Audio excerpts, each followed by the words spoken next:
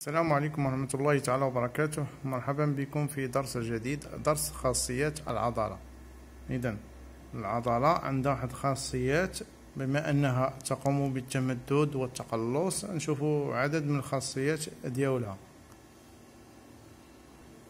إذا في هذه الوثيقة كما تنشوفوا أثناء حركة ديال التني كما تنشوفوا التني وبسط الساعد اليد يتغير الشكل الخارجي يعني للعضلتين ثنائية ثنائية الرأس وثلاثية الرأس يعني مثال أنت ملي كتثني اليد يعني ثنائية الرأس اللي هي في الأمام كتقلص وثلاثية الرأس اللي هي خلف اليد تتمدد. وملي كنرميو الكرة العكس ثلاثية الرأس كتقلص وثنائية اليد كتمدد. إذا كاينة واحد العلاقة بيناتهم. هنا بالنسبة لهنا قاموا بتهييج يعني واحد العصب ديال ضفدع. عند تطبيق إهاجة كهربائية وحيدة وفعالة مباشرة على العضلة أو على العصب الذي يعصبها يتم الحصول على تسجيل عضلي كما تنشوفوا هنا في هذه الوثيقة. يعني هو تحت إشارة الإهاجة. ملي كتكون شي إهاجة شنو كيوقع؟ يعني كيوقع واحد التمدد أو التقلص. إذا كاين هاد يعني وسع. هي إشارة الإهاجة. ملي كتكون الإهاجة؟ اللحظة اللي كتكون فيها الإهاجة اش كيوقع؟ كيوقع واحد التقلص ولا تمدد. إذا هنا تعرفنا على جوج خاصيات اللي هما التهيجية والقانوسية يعني العضلة كيمكن ليها التهيج يمكن ليها تمدد ولا تقلص ولا هذا. غنمشيو هنا نشوفو في هاد الوثيقة المرونة. المرونة يعني داروا هنا واحد التجارب علقوا بالعضلة واحد الكتلة.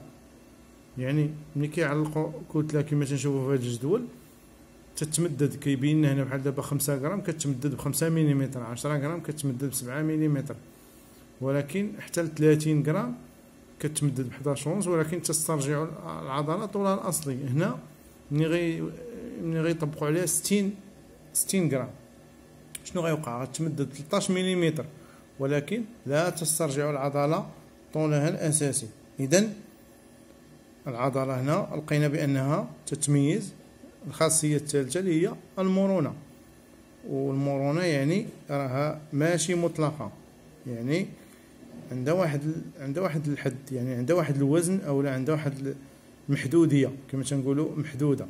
اذا من خلال هذه الوثائق كيتبين تبين بفضل تقلصات العضلة وارتخاؤها ياك ديال كنقولوا حركة مثل عضلة هيكلية بفضل حركة الجسم التقلص والارتخاء تتميز العضلات الهيكلية بثلاث خاصيات.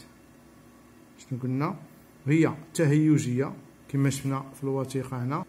إذا هذه قلنا التهيجية. وفي هذه الوثيقة القالوسية يعني يمكن لها تتمدد أو لا كتقلص على حساب الحركة. والخاصية الثالثة شنو قلنا هي؟ المرونة ولكن هذه المرونة تعتبر محدودة حيث يؤدي التمديد القوي للعضلة إلى إتلاف مكوناتها. إذا هنا تعرفنا على كيفاش كتكون الحركة. وفي هذا الدرس آه تعرفنا على كي تنقولوا خاصيات ديال العضلة. وإلى درس جديد إن شاء الله. والسلام عليكم ورحمة الله تعالى وبركاته.